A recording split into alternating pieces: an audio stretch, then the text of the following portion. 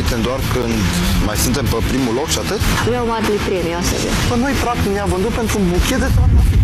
Mâine mă duc în camera confesioneră și fac un material de gală. Ce sparg botul. Spun pe cea pe suflet. Te arunc pe geam. Ce dezvăluiri pregătește Alin?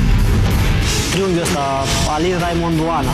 Concurentul care intră în cursa de eliminare în această seară este concurentul